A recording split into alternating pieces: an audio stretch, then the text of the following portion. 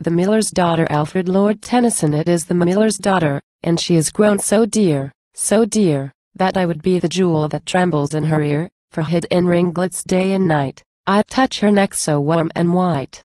And I would be the girdle about her dainty dainty waist, and her heart would beat against me, in sorrow and in rest, and I should know if it beat right, I'd clasp it round so close and tight. And I would be the necklace, and all day long to fall and rise upon her balmy bosom, with her laughter or her sighs, and I would lie so light, so light, I scarce should be unclasped at night.